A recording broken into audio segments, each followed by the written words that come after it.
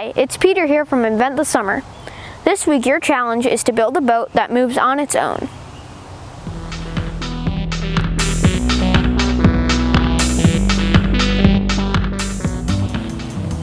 You can build any kind of boat you want, but it must be able to move through the water on its own. It can't just float. Here's some rules. You can use any materials you want to build your boat. You can propel your boat in any way that you want to. You can use any body of water that works for you. A bathtub, sink, lake, pond, or a puddle are great options. You can't assist the boat with your hand or any other part of your body, or make waves to make it move. You can't use a pre-made, store-bought, or toy boat. Please don't use electricity near water, so don't use fans or hair dryers to make wind.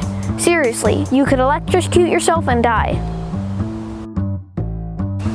Once you figure out how to make your boat move, see how far or how fast you can get it to go. You could even build two boats and have a race. And now a few tips to avoid making your parents mad.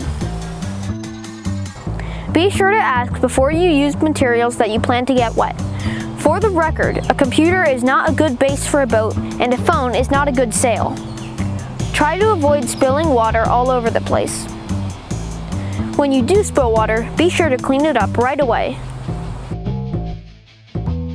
Don't build your boat in the middle of the kitchen while your parents are cooking.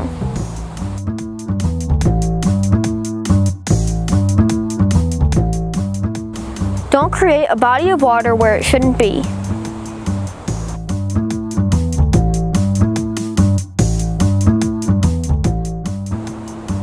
And definitely don't use a toilet as your body of water.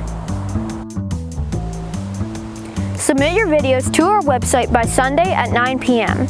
Then be sure to come back on Monday and Tuesday to see everyone's solutions and vote for your favorites. Don't forget, everyone who enters the challenge this week will earn one ticket to our big end of summer prize drawing. You will earn a bonus ticket whenever someone enters their first Invent the Summer challenge and gives you credit for telling them about us. Have fun boating! Invent, invent, invent, invent, invent, invent, invent the summer.org. Yeah!